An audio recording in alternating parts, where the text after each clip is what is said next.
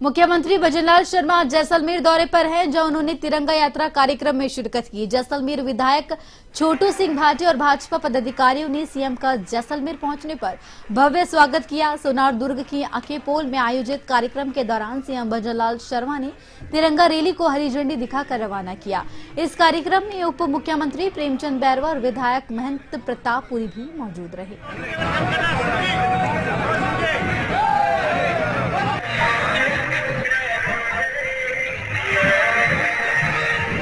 और वहीं सीएम भजनलाल शर्मा का आज, सीएम भजनलाल शर्मा जो है जैसलमेर दौरे पर रहे, जहाँ उन्होंने तिरंगा यात्रा को हरी झंडी दिखाकर रवाना किया।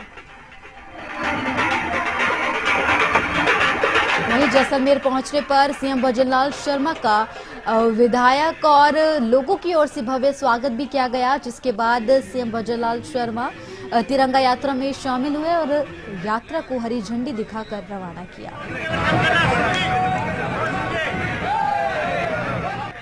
और इस दौरान डिप्टी सीएम प्रेमचंद बैरवा भी मौजूद रहे।